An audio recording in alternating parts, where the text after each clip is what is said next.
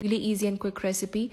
To your oil, add onions, chicken, some black pepper, salt, oregano, and garlic powder. To a separate bowl, add coriander, lettuce, your mayonnaise, and throw in the cooked chicken. Mix it around and set it aside.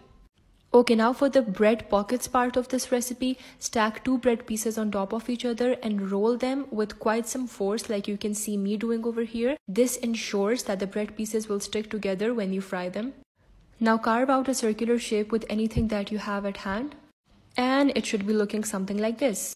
Now dip the pocket in your egg and breadcrumb mixture and then fry it. And after a few seconds, it will puff up like this. Now cut it from the middle like so and you have two bread pockets.